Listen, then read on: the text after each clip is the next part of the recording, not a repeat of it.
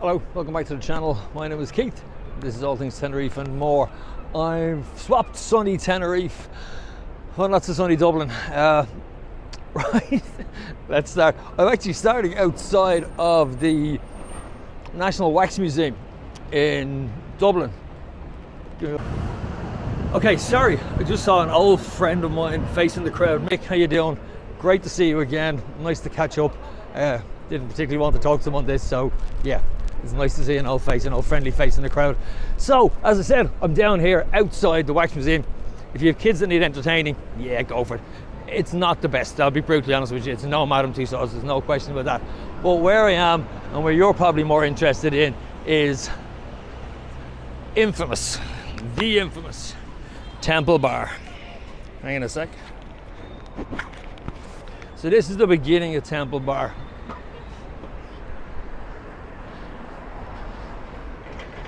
So, Temple Bar is often mistaken as uh, a bar, which it is, but it's also an area. So Temple Bar starts here and goes all the way up to Christchurch. Christchurch is an old medieval church at the end of the city. I'll bring you up as far as there. So this is it. This is Temple Bar. And I think I've drank in every single place in it. The Palace, absolutely. Now, thing about Temple Bar. The Fleet, that's a nice hotel, as is the Temple Bar Inn. Both good hotels. Uh, if you want something decent, if you want something decent in Temple Bar, Temple Bar Hotel is a nice hotel. But obviously, if you're staying in Temple Bar and you choose any of these hotels, make sure you pick a room that's at the back because this place doesn't stop. It's going every day, 12 till maybe 4, 5, 6 o'clock in the morning. Buskers, great live venue if you want music and you want sports, and a lot of entertainment downstairs in it. Hard Rock Cafe, absolutely everywhere. The Morgan Hotel. When I worked as a taxi driver in Dublin, it was absolutely one of my favourite hotels to work out of. Again, always, always gets great reviews. Would be middle of the road, not massively expensive. Thunder Road Cafe. Temple Bar is probably only quiet from about 7 o'clock in the morning till about 11. It's now half 12, 20 to 1, and it's starting to pick up. I've already passed some hens. Like I say, it's the stag and hen capital of Dublin. These boys here will bring you up to Guinness's Pony and Trap. Well worth doing, as you can see. Now, let me cross over here for a sec because this is sort of the middle of Temple Bar. So this is the old Dubliner or the old dub. Oliver John Gogarty's fantastic live music every night. If you head up here on the next corner, you've got the Mongolian barbecue and you've got uh, God Bloom's Hotel. Bloom's Hotel. Now, Cafe Nero, Boxty. There's lots of great restaurants in here. And the people in the paddy caps, trust me, they're not Irish. Elephant and Castle, arguably the best chicken wings in Dublin, without a question. Great little spot. Uh, they do a great lager as well in there. It's a traditional Irish, or it's a local Irish beer, local Irish lager called the Five Lamps.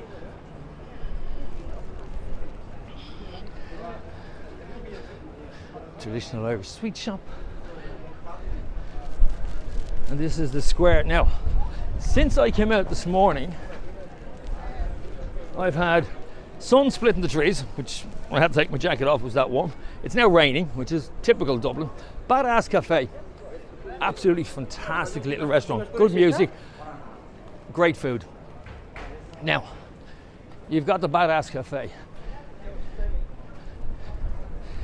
The old storehouse, Leo Burdocks, the chipper I was telling you about earlier on. Fantastic little spot. Now, here's the Hall of Fame. All the different people that have eaten here.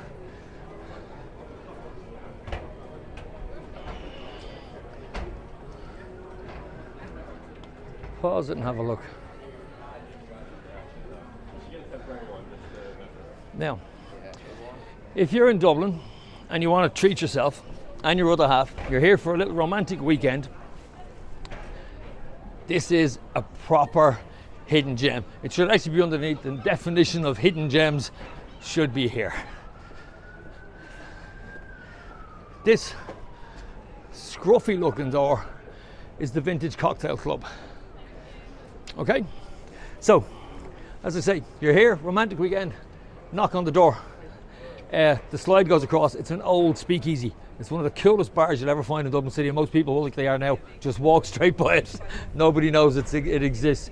Inside of it is one of the coolest bars you'll ever see. You have to knock on the door. They don't let you in otherwise. So, rap on the door. Slide goes across. Bouncer will open the door. They let you in. Inside of it, it's decorated like a 1920 speakeasy.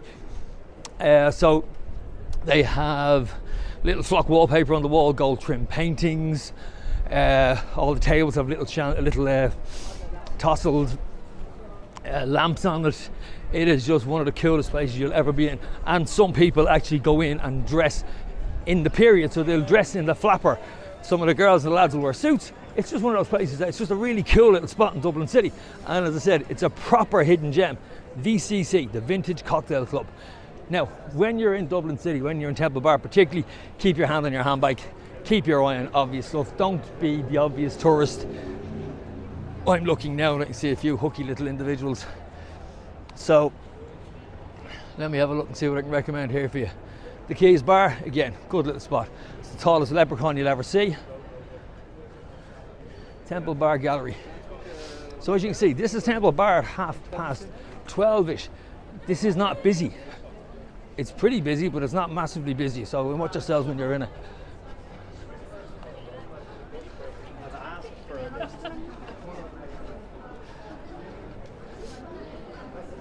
So now we're coming up to the infamous Temple Bar. So this is the Temple Bar.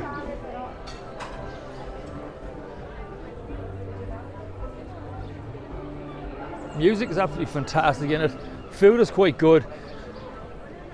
Like anything, the anything in Temple Bar is expensive. Anything in this area is expensive. You're talking 10 euros a pint plus, depending on the time of day. Goes up as the day goes on, it gets more expensive. So just be aware that it's not not going to be a cheap holiday. Dublin City, make sure you you make allowances for that fact. It's not going to be cheap. Norseman, never been in it actually, but Sorry. looks like a sort of vibrant little spot. Fitzsimon's Temple Bar, three stories of bars, absolutely fantastic. Been that many a time. Uh, last time I was in it was Monday. Were playing, was playing. This is an Irish singer, and uh, yeah, good crack, good night. Actually, it was a good afternoon. It wasn't a night; it was an afternoon gig. But yeah, good little spot. Now I'm hoping around the corner now, this place is still open. Uh, there's a food market every Saturday morning. Yep, looks like it's still open. And uh, definitely worth a trip if you want to have a little look around at something in Temple Bar that isn't just drink related. This little place is definitely it. You see people are shouting, sheltering from the rain.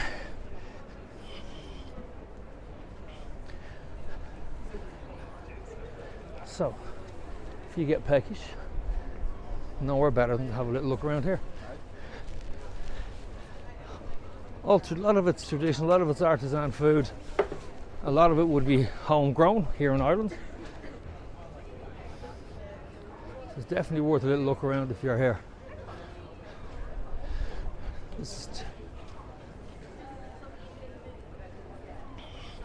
not huge, but as I say, if you get a little bit peckish when you're on your way and you're walking around the city, definitely worth a look in. I suppose that's the one thing about Dublin. Everybody associates Dublin City with with drink, with alcohol. They don't associate us with food. And some of the best restaurants, certainly some of the best seafood restaurants you'll ever eaten, are in Dublin City. There's no question. Smoking Bones. I forgot they'd moved down here. This fantastic little restaurant, particularly if you like ribs, and I do, I'm particularly fond of them. Uh, they do really good ribs. So as you can see, falafel, there's something for everybody in this city. Absolutely something for everybody. And this is still Temple Bar.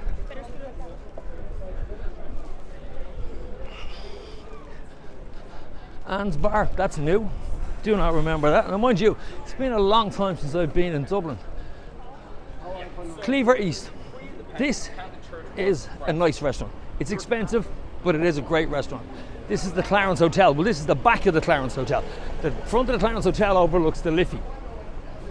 This is what people affectionately refer to as Bono's Hotel or the U2 Hotel. It was owned and is owned by Bono's brother in law. And Bono and I think the Edge had a minor share in at the beginning when the chap started off first. But uh, it's kind of got an old gentleman's feel, club feel to it. Again, worked out of it many times when I was taxiing in Dublin City, but the restaurant I've eaten in, food is fantastic, extremely good. If you're looking for a good steak, nowhere better than there.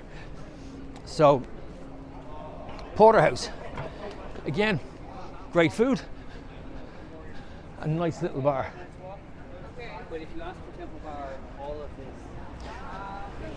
So, we're coming towards the end of Temple Bar now. And like I said, most people associate Temple Bar with just that little section that we walked past there earlier on. In fact, to say, we're still walking through Temple Bar. That building up ahead is Dublin Castle. Again, I'll cover it later on in another vlog, but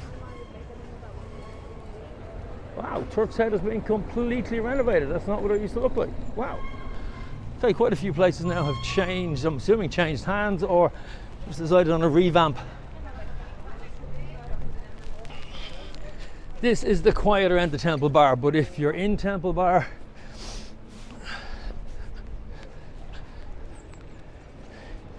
you may as well walk all the way up here because if you don't, you're going to miss out on.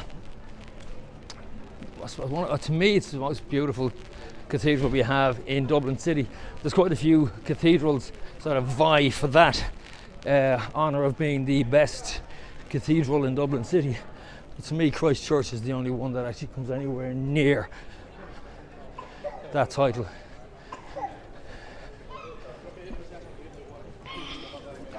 Now, this is Cow's Lane. In Cow's Lane, you have oh, it's not actually there's not as much as it used to be. There used to be a lot of market stalls here. Again, maybe the weather has scared them off, but uh, it's normally worth a look in the height of the tourist season because it is actually quite busy, and there's normally about 10 or 15 stalls there. Uh, and this is one thing I always remember when you come to Dublin: bring a hat bring a bring a raincoat. You think I'd know better considering I live here, but uh, yeah, what can I say? It is miserable at times. Okay, wasn't expecting that. Now, this may have something to do with the fact that Handel, person who wrote the Messiah, yes, it definitely has, first performed it here. So I wasn't expecting this this statue inside. But this is Fishamble Street. Right, it's okay. It's actually looking like they're about.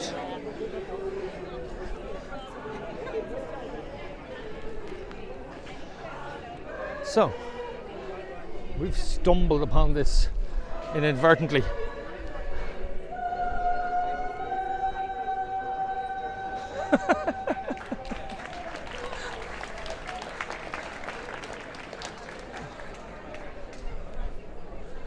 unfortunately, I can't stand it because it's really the rain is actually picking up. I'm going to run up here. Oops, I'm going to finish on the.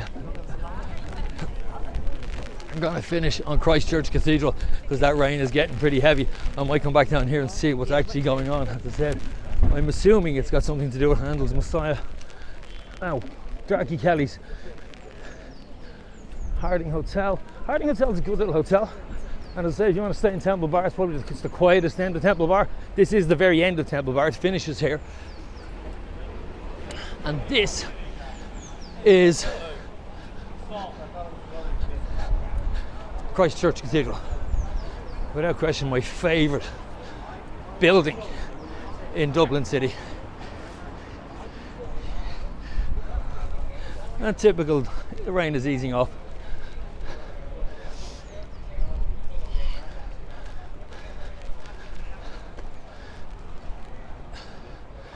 So this would have been built on the border of Dublin City where the Pale is. Dublin was originally a walled city. And this, as I say, is Christchurch Cathedral.